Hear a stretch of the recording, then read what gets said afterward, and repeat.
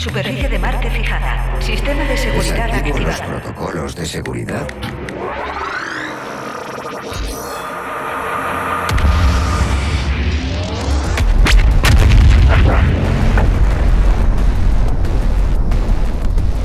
La cápsula se autodestruirá. Deberíamos continuar.